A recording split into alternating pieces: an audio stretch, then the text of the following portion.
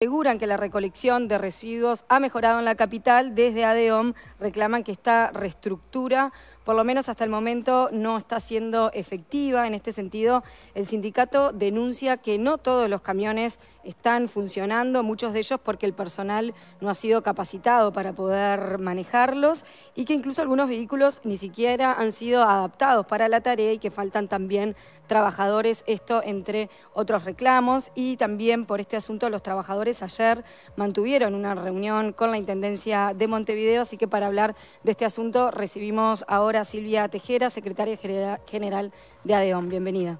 Buenos días. Bienvenida. Bueno, ¿qué podemos decir que surgió del encuentro de ayer con las autoridades? Mira, nosotros ayer tuvimos un encuentro con, la directora de la división, con Marta Garagorri.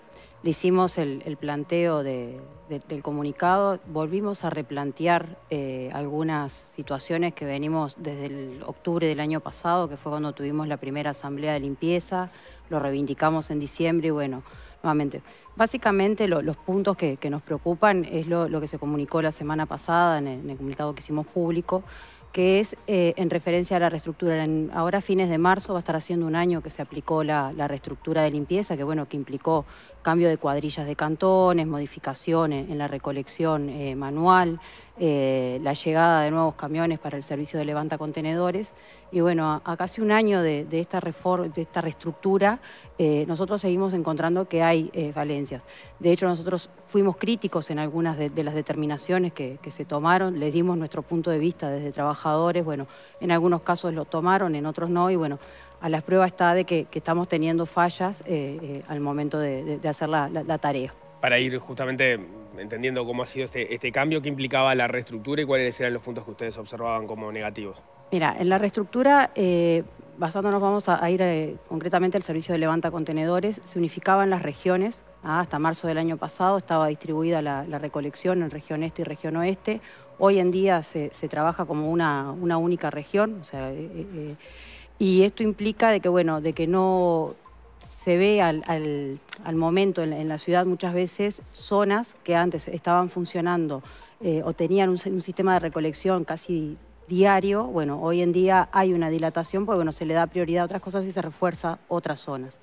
Eso fue una de las partes que nosotros entendíamos que, bueno, que, funcionaba bien el hecho de tener las dos regiones y, y capaz que sí dar a tareas de apoyo en determinadas situaciones, pero funcionaba mucho mejor. Hoy, hoy en día tenés zonas de la periferia, por ejemplo, municipio D, municipio F, que antiguamente podía llegar a tener un atraso, pero bueno, no como se estaba dando eh, lo que fue en el mes de diciembre, básicamente. Creo que hoy en la actualidad tenemos, hemos logrado llegar casi que, a una normalidad y bueno, el atraso que hay se da por, por la falta de, camiones, que bueno, que sigue siendo un reclamo que tenemos desde hace cinco o seis años o más a, la administración, ¿no? Que la falta de mantenimiento, la falta de repuestos, eso es una problemática que, no cambia más allá de, las gestiones que, vayan viniendo. ¿Y ahí cuál es el, diagnóstico? Porque como vos decías, ¿no? Hablar de, los camiones que, faltan o que están para llegar, dependiendo del momento de, cada administración, es algo que lo escuchamos desde hace bueno, mira, nosotros eh, en la actualidad, bueno, en, la nota que hacemos reclamo de, dos camiones es, en, mayo del año pasado llegaron 12 camiones para, reforzar el, sistema de levanta contenedores. Ah, de esos 12 camiones, la, la disponibilidad máxima que ha salido ha sido de 6, 7 camiones. Eh, los otros no, por el hecho de que, bueno, como decíamos, eh, se había un compromiso por parte de la Administración que se había logrado en un, ámbito bipartito, de que había que tener capacitación, porque es la llegada de nueva tecnología, lo que implica que, bueno, que, hay que capacitar a, los compañeros, básicamente a los choferes y, bueno, también a los auxiliares, pues se implementó el, uso de tablet y demás para reportar cosas en, tiempo real que suceden en los contenedores pero en el caso de los, de los choferes, si no tienen esa capacitación que implica cuatro módulos, no están aptos para salir a manejar la unidad, porque implica no solo un tema de riesgo para la tripulación, para la seguridad vial, incluso digo para, para hacer la, tarea, para el equipamiento justamente. Bueno, al día de la fecha no hemos culminado la, capacitación de, estos trabajadores, se iba a priorizar tanto el turno matutino como, como el nocturno, porque la planificación que tenía la Intendencia era que estos camiones en el turno de la tarde iban a tener el mantenimiento preventivo, que es algo que los trabajadores siempre reclamamos.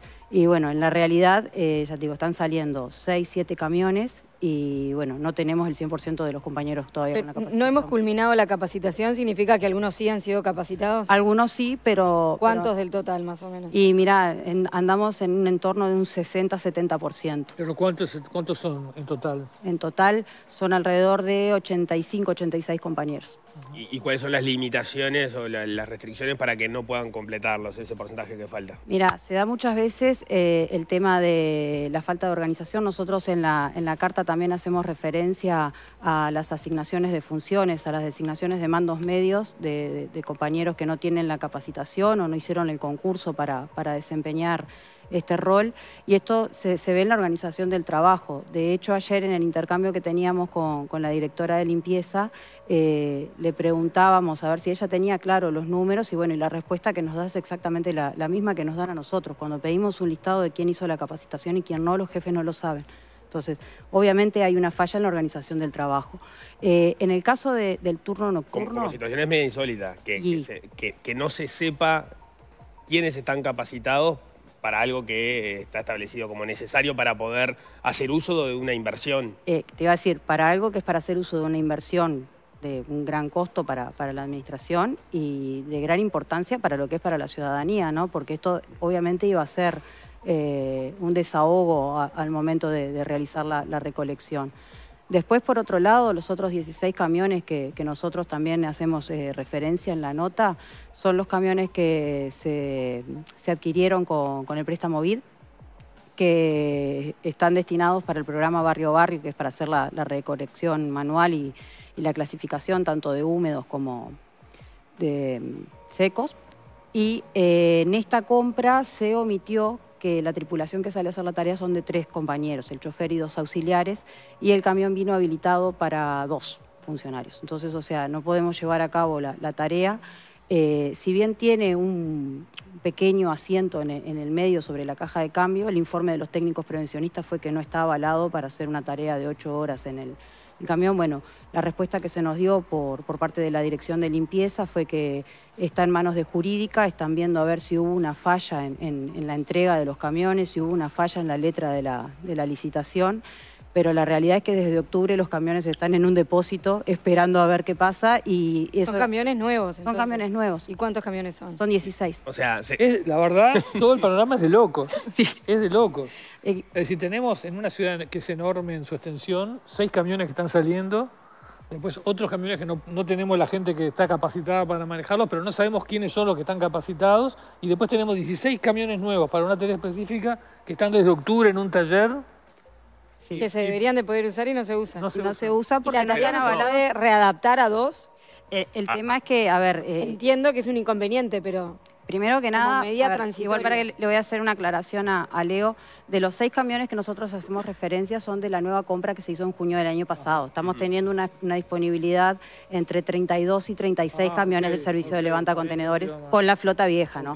Igual, o sea, el índice de los camiones que salen eh, nosotros siempre decimos, al principio del turno se da una disponibilidad, que ya te digo, están en, el entorno entre el 32 y 36 camiones, hay 14 camiones que sí no, están operativos, pero de esos camiones eh, un 50% al menos una vez en el correr del turno entra a taller por alguna falla.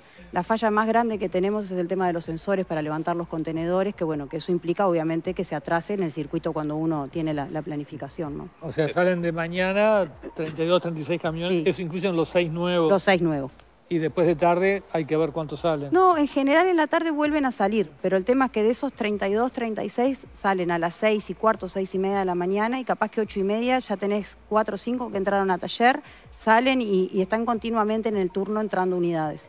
Eh, nos estamos riendo de esto, obviamente, porque por, lo insólito de la situación, por no llorar, sí, por lo insólito de la situación, pero la verdad es que, eh, uno lo escucha y, es, y es algo que se repite y se repite y pasa las administraciones y se repite y no hay una vez que podamos decir Montevideo está limpia, porque a veces está un poco más limpia, a veces un poco menos, pero eh, ¿cuál es el diagnóstico que hace? ¿Falta eh, capacidad de entender cómo se tiene que limpiar Montevideo? ¿Falta voluntad para efectivamente asignar lo que hay que asignar para poder limpiar Montevideo? Sacamos la parte de que mucha gente este, dice la gente sucia, tira afuera. Pongámosle que eso se, puede ir solucionando con, las, con las modalidades que se han encontrado, pero la cuestión es que Montevideo sigue estando sucia y, es notorio, ¿no? creo que, no se soluciona. Tú tenés un combo ahí, tú hacías referencia a, lo que muchas veces decimos el, ciudadano es sucio porque tira y demás. Eso, eso aporta, ¿no? Cada vez tenemos más situaciones de, gente en situación de calle eh, hurgadores y demás. De hecho, eh, estamos viendo que incluso en, los contenedores que iban a ser inviolables, que son los que están instalando ahora, encontraron una forma de abrirlos, rompen una cosita, una pequeña tuerquita que anda en torno de los 1.800, 2.000 dólares y no los han empezado a reparar ya porque todavía tampoco están en plaza. Entonces, eh, cada vez es más la gente que está dentro de los contenedores, los compañeros básicamente se dan el turno de la noche, en general, eh, en todos los recorridos siempre tienen alguna persona dentro del contenedor o llegan a vaciar el contenedor y hay gente eh, sacando la basura y demás. Entonces, eso, también implica, obviamente, que, una situación. Y después, a ver, es la, perspectiva de, que eh, nosotros tenemos el, entendido de eso, de que falta capacitaciones, faltan los concursos, falta que quien diseñe los planes de trabajo, porque digo, obviamente las direcciones de políticas pasan, pero hay direcciones que deberían de ser de carrera y que deberían de ser el apoyo de la planificación y la organización del trabajo que tengan el conocimiento del funcionamiento municipal. O sea, la gente que dirige limpieza históricamente no sabe de limpieza. Eh, y no, no, tenemos directores de concursos, son todos asignaciones directas y cargos de confianza. Cargos políticos. O sea, no, son funcionarios, pero digo, o sea, digo, ninguno de ellos ha tenido eh, un concurso para estar en el lugar que está. Y de hecho nosotros hemos denunciado eh, así, y no es nada hacia la persona, ¿no? Porque, o sea, digo, son compañeros municipales y demás, pero entendemos que hay fallas. En, el sector de mantenimiento, eh, la gerencia de mantenimiento es algo que históricamente ha denunciado a Dion. De hecho, ayer hablábamos que es muy difícil tener un relevamiento de los repuestos que se dan en el taller, porque no tenemos un sistema. Los compañeros que manejan el almacén de, mantenimiento hacen todo manual en un cuaderno. Entonces, si quieren saber cuándo dieron un, tornillo, lo más así, tienen que ir a fijarse en un cuaderno y es como medio complicado, ¿no? Entonces a veces pasa de que a veces un repuesto que debería de estar, que debería estar en stock, no está. Y todo, todos los años siempre van encontrando alguna, eh, vamos a decir, la excusa para decir, bueno, el atraso está en esto. El año pasado se implementó un nuevo, un nuevo sistema de compras para toda la Intendencia que implicó supuestamente un atraso, que eso trajo atrasos, no solo en limpieza, sino en, toda la Intendencia, se atrasaron todas las compras. Pero bueno, ya hace un año y medio que está activo el sistema y siguen faltando cosas. Entonces, eh, es un tema, obviamente, desde la organización y la planificación de trabajo, y, bueno, y capaz que de las capacidades sí de quienes están a cargo de las gerencias y de las direcciones. Me, quedó una duda de uno de los aspectos que señalabas que, que, capaz que lo pasamos por alto demasiado rápido. Vos decías, se compraron 16 camiones para una tarea que implicaban cuadrillas de tres personas, pero vienen con cabinas para dos personas. Eh, estaban tratando de averiguar si había habido una mala entrega o si efectivamente se habían comprado mal. Sí, eso fue lo la respuesta que, nos dieron, nos la habían dado a fines de diciembre, en la última bipartita. Nosotros tuvimos el 22 de diciembre una bipartita que, en la que participó también el director del Departamento de Desarrollo Ambiental eh, y nos dijeron que, bueno, que estaba en manos de jurídica. Ayer, ante la, ante la consulta, la respuesta fue lo mismo, que están haciendo el estudio jurídico a ver si fue hecha mal la licitación o mal la entrega. Pero bueno, los camiones siguen eh, parados eh, y obviamente que, de hecho, la, idea de ellos eh, era sacar los camiones a, la calle. Cuando fueron parte de la tripulación que iría a hacer la tarea, obviamente nos denunciaron enseguida a Dion que no entraban tres personas. Solicitamos un informe de, los técnicos prevencionistas para ver si cumplía con, con, la normativa y demás. Y bueno, y efectivamente el informe fue que no pueden salir pero eh, mal la licitación o mal la entrega quiere decir que no se sabía bien cuál era el tipo de camión que se iba a recibir al momento de eh, efectivizar la compra o, dárselo como ganador a alguna de las empresas que se haya presentado en la licitación. Eso, eso es lo que están evaluando jurídicamente, si el error fue del funcionario que hizo la licitación o de la entrega de, la empresa. Acá también entra algo que nosotros decimos que, que queda en evidencia, porque de hecho de, los camiones eh, que están operativos hoy en día de levanta contenedores que faltan capacitaciones, son camiones que no están pensados para la ciudad de Montevideo ni para el tipo de tarea que hacemos nosotros. Eh, no se consulta a, los trabajadores al momento de, hacer las compras y creo que el hecho de tener de primera mano de quien desempeña la tarea eh, una opinión es válido y, obviamente que simplifica. En el caso de los camiones, los seis estos camiones que están operativos de los 12, están pensados para hacer una tarea en la que trabajaría un, solamente el chofer, porque entienden que eh, en el resto del mundo donde se utiliza este tipo de, tecnología eh, no existe hurgadores, no existe el vandalismo, entonces, o sea, no es necesario que el auxiliar, que, vaya un auxiliar a corroborar que hay alguien, y a limpiar en el entorno de, contenedor. Entonces, de hecho, los camiones tuvieron que ser adaptados antes de salir a a desarrollar la tarea porque no, no cumplía la normativa para que saliera el auxiliar con ellos en, lo que es la subida y la bajada. porque lo vengo pensando hace rato y, lo has dicho, si todo el sistema, todo, no solo esto, sino el hecho del mero sistema de contenedores está pensado sin tomar en cuenta que en Montevideo, desde que yo tengo existencia, hay gente que vive de, lamentablemente, de hurgar en la basura porque no tiene otro, otro camino o porque es el camino que eligió, en fin, o porque la, la urgencia económica los apremia. Eso es así. En, momentos que al Uruguay le ha ido muy mal, esa población se multiplica, y lo hemos visto, por ejemplo, en el 2002. Y en momentos que le ha ido bien, eh, no desaparece. Nunca ha dejado de haber gente que necesita de eso para vivir. Entonces el que diseñó el sistema se lo salteó totalmente y el efecto que tenemos es una ciudad llena de basura por todos lados todo el tiempo. Es, así, me parece. Eh, perdón, pero ojo, porque tampoco le carguemos toda la responsabilidad a las personas que hurgan en la basura porque la ciudad está sucia. Porque acá vemos, y, de esta entrevista que hay de manifiesto, que hay un montón de fallas. Después nunca terminás de saber si es un problema de... lo que dije. Yo lo que digo, no es no le cargo a esa persona. Esa persona tiene que hacer eso para vivir, no tiene otro recurso. Eh, quizás haya algún caso que no, pero mucha gente está necesitada y por eso lo hace. No, le cargo la responsabilidad que diseña un sistema sin pensar en la realidad. Eh, la realidad es esa.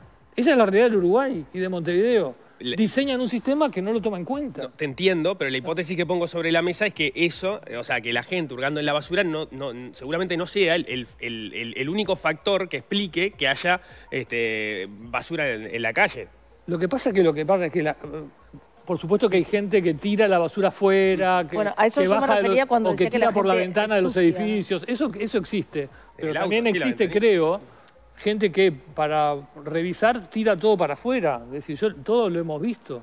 creo que tenés, a ver, como decía allá, ya que el hecho de, que muchas veces ves una bolsa fuera del contenedor, ni siquiera, como los contenedores tampoco están en condiciones, muchos los pedales no tienen, que tenés que hacer con el uso manual y todo eso, ven una bolsa afuera y está, está lleno y tiran afuera. Y capaz que el contenedor está vacío.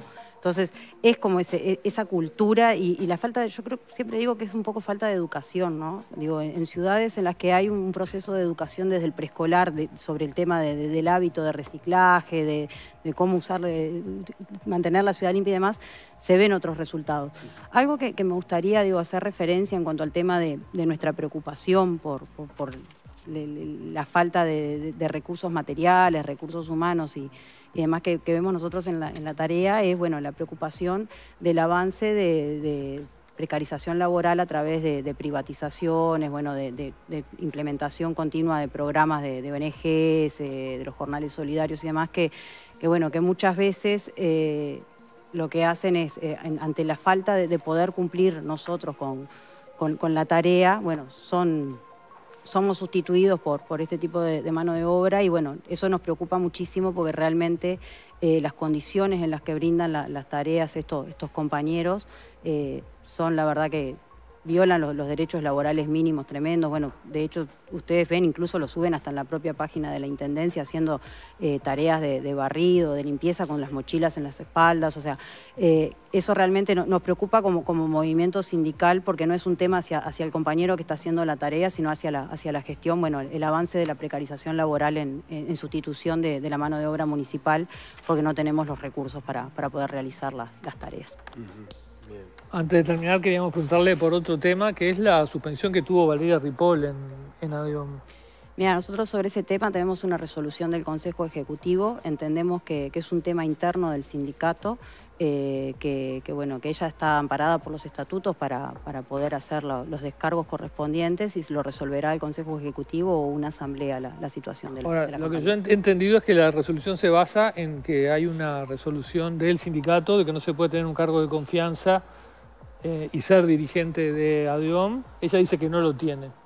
Ah, te vuelvo a decir, tenemos una resolución de ejecutivo que no, por el tema de, Ripoll, o sea, lo vamos a tratar en el Consejo Ejecutivo y no, no en la prensa. ¿Pero hay posibilidad de rever la decisión o no? Ella presentó los descargos y bueno, se va a evaluar en, el Ejecutivo los, los mismos. Pero ya hay antecedentes de que se ha aplicado sanciones. no es una sanción, es una cesión de los derechos. Ella dice, ella misma dice que, ella misma aplicó este, esas, esas sanciones en otros momentos, pero a personas que tenían eh, cargos en los que, por ejemplo, tomaban decisiones, que ella entiende que no es su caso. te vuelvo a decir, es un tema interno del sindicato, lo vamos a, tratar con, la directiva y con los compañeros del, del sindicato. ¿Pero no es por haberse sumado al Partido Nacional? No, no. De hecho, la, sanción anterior fue a, compañeros que desarrollaban tareas para el Frente Amplio. Pero sí, y esto es por, digamos, por lo pronto ha sido, ha sido público, es por el, nuevo rol que le, toma, le toca asumir en su cargo con un pase en comisión hacia el Parlamento, eso sí. Eh, e, es un tema interno del sindicato. Está bien, digo porque a mí lo que me llama la atención... pública, o sea, la, Sí, pero o sea, digo, a ver, es lo que dice la resolución. Eh, ¿Cuál es el argumento para explicarlo bien? Que justifica que se le haya eh, suspendido los derechos de afiliado. Es un pase en comisión para una secretaría política. Ahí está. A mí lo que me llama la atención por eso, y por eso te lo pregunto, la, última vez que nosotros conversamos, que en realidad fue la primera, fue el 30 de agosto, cuando estabas asumiendo este rol como secretaria general. Viniste con Valeria, te acompañó Valeria yo estaba buscando resoluciones, eh, información de, a ver, cómo había sido la cronología. Dos semanas antes ya se sabía cuál iba a ser el destino de ella, que se iba, este, porque iba a militar en el Partido Nacional y que iba a tener este pase en comisión. Esto pasó hace seis meses. La resolución llega ahora, digamos, ¿qué fue lo que cambió este, formalmente para que la resolución se tome ahora y no cuando ocurrió todo, que fue cuando ella, de hecho, dio ese paso al costado de la dirigencia de DEON para que vos asumieras ese cargo? La resolución que se aplica en el 2019, los compañeros estaban ejerciendo el cargo en las secretarías políticas desde el año 2017 y se tomaron en el 2019 van, con delay las, las, decisiones. Pero nadie, por lo menos oralmente, le había marcado este punto de que corría un riesgo de ser suspendida cuando pasó todo esto, porque parecía haber un ambiente muy cordial. No, no, de... no, no. O sea, se trató en el seno de un consejo ejecutivo y se definió. ¿Por unanimidad? Eh, de 14 asistentes en sala, los 14 votaron a favor. Vos eras este, la, segunda en la lista de, que, lideraba hasta, hasta ahora Valeria, tomaste la decisión de, irte, eso ya es una resolución personal tuya junto con otros compañeros, ¿no? No, nosotros no, no nos fuimos, no renunciamos. Simplemente nos desvinculamos de la agrupación y de la figura de, Valeria. De la figura de Valeria, no de la lista. No, no o sea, a ver, te desvinculás de la lista, pero los cargos son de las personas. No, por no renunciaron a los cargos. No renunciamos a los cargos, eh, nos desvinculamos. Se desvincularon de, la agrupación que los llevó de la agrupación. ¿Formaron una agrupación nueva? No, no, o sea, o sea simplemente nos distanciamos. Nosotros no presentamos ninguna renuncia a la agrupación, tampoco. Nada, de hecho, a ver, tú para conformar una agrupación tenés que llenar un formulario con ciertos datos y firmar de puño y letra el consentimiento para, para estar. De hecho, para dejar de ser parte de una agrupación o para en el caso de quienes estamos con responsabilidades, tenés que hacer exactamente el mismo procedimiento y bueno, y eso no, no existió. Una comunicación verbal de que, bueno, de que sí nos desvinculábamos. Cinco de los seis compañeros que, entramos, eh, tenemos responsabilidades en el Consejo Ejecutivo, nos, desvinculábamos de la lista. y en tu caso esa decisión eh, digamos, qué fue lo que termina llevando a eso, pensando en, esto que decía recién, cuando, cuando conversamos hace seis meses, no era el escenario que uno se imaginaba, la transición entre Valeria y vos parecía ordenada, cordial la palabra que utilizó Ana, digamos, parecía una, una buena Parecían amigas, había buena onda. Bueno, cuando eso ella todavía era miembro del Consejo Ejecutivo, ella renuncia el 28-29 de septiembre. Pero lo que voy es que, es que las decisiones que ella había tomado de pasar a la militancia política, de tener el pase en comisión, ya estaba todo definido, digamos. Eh, ¿Qué fue lo que cambió para vos para tomar la decisión de desvincularte de la agrupación? Son temas de, la interna también del, sindicato y los, cinco compañeros que, bueno, que, decidimos desvincularnos, más los, los, 21 compañeros que están apoyando nuestra resolución, también entendemos que es algo que hay que tratarlo dentro de, la interna, incluso ni siquiera del sindicato, sino de nuestra agrupación. ¿Ustedes se sienten ofendidos o traicionados con los pasos que eligió dar Valeria Ripoll? No, no es un tema de... ¿No? no, no, no es por ahí. Muy bien, Silvia Tejera. Secretaria General de ADEOM, muchas gracias por acompañarnos. Muchas gracias. Muchas gracias, gracias, por la ¿eh? invitación. Bien, ahora- ahora cuando son las